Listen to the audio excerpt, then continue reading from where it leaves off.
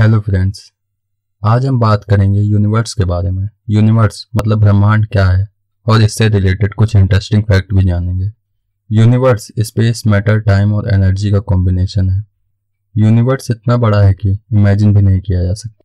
Universe आज से 13.8 अरब साल पहले एग्जिस्टेंस में आया था।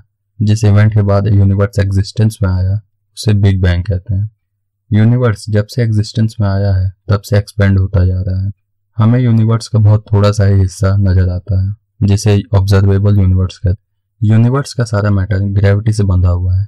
यूनिवर्स का शेप मैटर की डेंसिटी पर निर्भर करता है। अगर डेंसिटी राइट अमाउंट में होगा तो यूनिवर्स एक कागज़ की तरह फ्लैट होगा।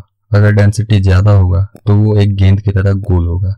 लेकिन अगर डेंसिटी कम होगा तो वो ओपन एंडेड होगा, जिसका ना कोई सेंटर होगा और ना कोई एज हमारे यूनिवर्स में जितना भी स्पेस है, उसमें पाँच परसेंट मैटर है। अड़सठ परसेंट डार्क एनर्जी और सत्ताईस percent dark matter. Dark energy और डार्क मैटर के बारे में साइंटिस्ट को ज़्यादा नॉलेज नहीं है। जो पाँच परसेंट मैटर है, उसमें से पचहत्तर परसेंट हाइड्रोजन है, तेईस परसेंट हीलियम और दो परसेंट अदर एलिमेंट्स हैं। यूनिवर्स कितना बड़ा है, यह समझने के यूनिवर्स की स्केलिंग करते हैं। पृथ्वी की चौड़ाई बारह हज़ार सात सौ छप्पन किलोमीटर है। चाँद और पृथ्वी की दूरी तीन लाख चौरासी हज़ार चार सौ किलोमीटर है। अगर पृथ्वी फुटबॉल के बराबर हो तो चाँद नींबू के बराबर होगा, जिनमें 21 मीटर की दूरी है। हमारा सोलर सिस्टम 9 अरब किलोमीटर चौड़ा है। अगर पृथ्वी फुटबॉल के बराबर हो तो सोलर सिस्टम के एक कोने से दूसरे कोने तक जाने में पाँच दिन लगेंगे।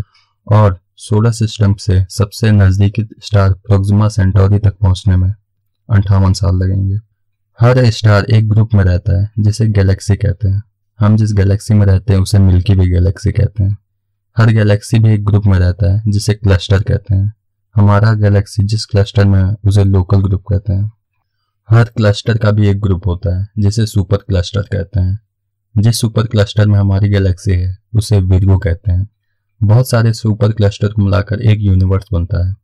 एक थ्योरी यह भी है कि हो सकता है कि हमारे यूनिवर्स के बाहर और भी कई यूनिवर्स, और तब मल्टीवर्स कहलाएगा। आगे आने वाली वीडियोस में हम और भी बहुत कुछ जानेंगे। तो चैनल को सब्सक्राइब कर लीजिए और इस वीडियो को शेयर कीजिए। धन्यवाद।